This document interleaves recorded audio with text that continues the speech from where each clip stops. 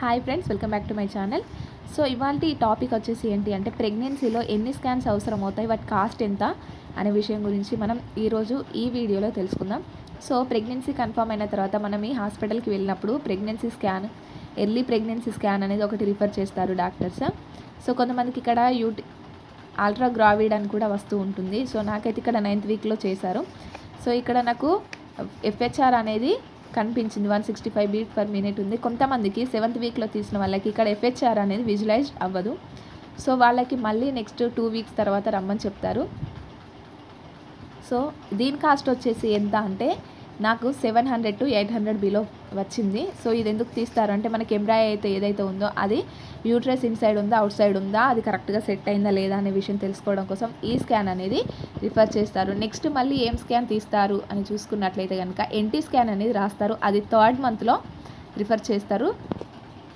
Third మంత్లో refer చేస్తారు. ఇది ట్వెల్త్ టు ఫోర్టీన్ వీక్స్లో ఎప్పుడైనా చేయొచ్చు ఈ ఎన్టీ స్కాన్ అనేది. మనకి త్రీ మంత్స్ కంపల్సరీగా త్రీ మంత్స్ పడ్డ తర్వాతనే ఈ ఎన్టీ స్కాన్ అనేది చేస్తారు. ఇప్పుడు ఈ ఎన్టీ స్కాన్లో ఏం చూస్తారంటే సిఆర్ఎల్ వాల్యూ చూస్తారు అలాగే ఎన్టీ స్కాన్ ఎన్టీ వాల్యూ చూస్తారు ఇది ఎంత ఎంఎం ఉంది అనేసి.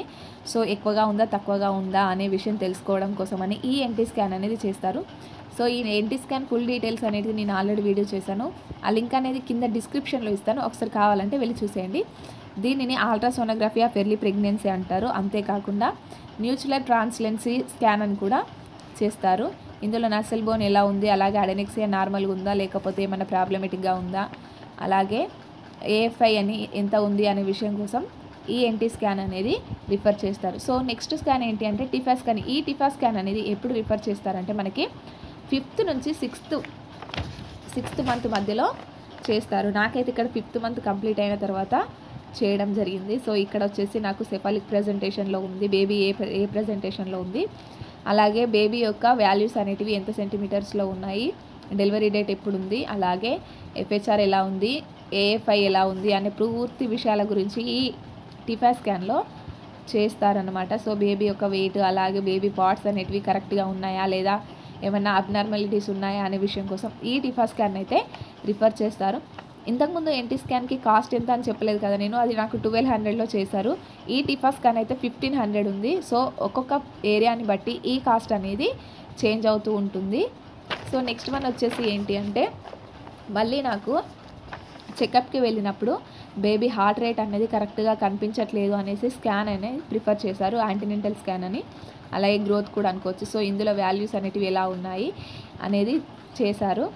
సో ఇక్కడ కూడా చూడండి ఒక్కసారి ఇక్కడ కూడా వాళ్ళన్ని బేబీ పార్ట్స్ అనేటివి కరెక్ట్గా ఉన్నాయా లేవా అని చెక్ చేయడం కోసం మళ్ళీ స్కాన్ అయితే రిఫర్ చేయడం జరిగింది.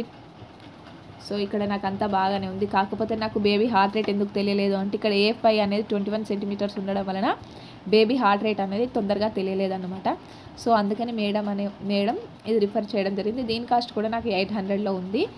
సో ఇది అవసరమైతే మాత్రమే చేస్తారు లేదంటే ఇగ్నోర్ చేస్తారనమాట సో నెక్స్ట్ మళ్ళీ ఎప్పుడు నాకు స్కాన్ చేయడం జరిగింది అంటే మళ్ళీ ఎయిత్ మంత్లో స్కాన్ తీస్తారు. ఇది థర్టీ ఫోర్ వీక్స్ లేదా thirty five weeks thirty six మధ్యలో చేస్తూ ఉంటారు. థర్టీ టూ నుంచి థర్టీ ఫైవ్ వీక్స్ మధ్యలో చేస్తారు. ఇది గ్రోత్ స్కాన్ అని కూడా అంటారు. అంటే యాంటీనెంటల్ స్కాన్ అని కూడా అంటారు. సో ఇందులో ఏంటి అంటే మనకి ఎల్ఎంపీ తోటి లైకర్ ఎంత ఉంది అలాగే ప్లెజెంటా పొజిషన్ ఎలా ఉంది బేబీ యొక్క వాల్యూస్ ఎలా ఉన్నాయి ఏమైనా ఇంప్రూవ్ అయినాయా లేదా లేకపోతే అలాగే ఉన్నాయా బేబీ గ్రోత్ అనేది కరెక్ట్గా ఉండాల్సిన వీక్స్కి తగ్గట్టుగా ఉందా లేదా అనే విషయాల కోసం అనేది ఈ గ్రోత్ స్కాన్ అనేది రిఫర్ చేస్తూ ఉంటారు. సో ఇక్కడ పిటల్ హార్ట్ రేట్ కూడా ఎంత ఉంది తగ్గిందా లేదా? నాకు ఆల్రెడీ ఏఎఫ్ఐ అనేది ఎక్కువగా ఉంది కాబట్టి మేడం మళ్ళీ రిఫర్ చేయడం జరిగింది గ్రోత్ స్కానింగ్ అనేది. సో ఇక్కడ చూసుకున్నట్లయితే నాకు ఈ ఏఎఫ్ఐ అనేది తగ్గడం జరిగింది. సో దీని కాస్ట్ వచ్చేసి నాకు ఎయిట్ హండ్రెడ్ తీసుకోవడం జరిగిందనమాట గ్రోత్ స్కాన్ కాబట్టి. సో లాస్ట్ అండ్ ఫైనల్గా మనకి థర్టీ ఫైవ్ నుంచి థర్టీ సిక్స్త్ వీక్ నుంచి ఫార్టీ వీక్స్ లేదా thirty eight thirty nine weeks లోపల మళ్ళీ ఒక స్కాన్ అనేది చేస్తారు. అదైతే డాప్లర్ స్కాన్ అంటారు.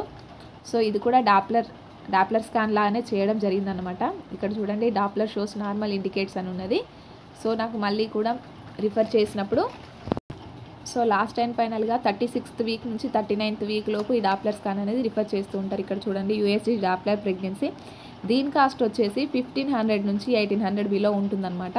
సో ఇది ఏరియాని బట్టి చేంజ్ అవుతూ ఉంటుంది. సో ఈ డాప్లర్ స్కాన్ అనేది ఎందుకు చేస్తారు అంటే మనకి ఈ ప్లెజెంటల్ ఇన్సఫిషియన్సీ అంటే బేబీకి బ్లడ్ సర్క్యులేషన్ అనేది కరెక్ట్గా ఉందా లేదా అలాగే బ్లడ్ ఫ్లో అనేది మనం కావాల్సిన న్యూట్రియంట్స్ ఏవైతే ఉన్నాయో అవన్నీ కరెక్ట్గా ఉన్నాయా లేవా అని తెలుసుకోవడం కోసం అనేది ఇది చేస్తూ ఉంటారు. సో దీనివల్ల ఈ డాప్లర్ స్కాన్ వలన మనం నార్మల్ డెలివరీ అయ్యే ఛాన్సెస్ ఉందా లేదా కంపల్సరీగా సీ సెక్షన్ అనేది ఉంటుందా అలాగే బేబీ యొక్క గ్రోతింగ్ అనేది కరెక్ట్గా ఉందా వాల్యూస్కి తగ్గట్టుగా ఉందా వీక్స్కి తగ్గట్టుగా ఉందా అనే విషయం కోసం ఇదైతే తీస్తారు. సో అంతేకాకుండా ఇక్కడ డాప్లియర్ ఇండిసీస్ అని ఉంది కదా ఇవన్నీ. So umbilical artery right uterine artery left uterine artery వీటి వాల్యూస్ ఎంత ఉన్నాయి అనేది ఈ తెలుసుకోవడం కోసం అనేది ఈ డాప్లెస్ స్కాన్ అయితే ప్రిఫర్ చేస్తారు. సో ఇది వచ్చేసి నాకు ఫిఫ్టీన్ హండ్రెడ్ ఉంది. ఏరియాని బట్టి చేంజ్ అవ్వచ్చు.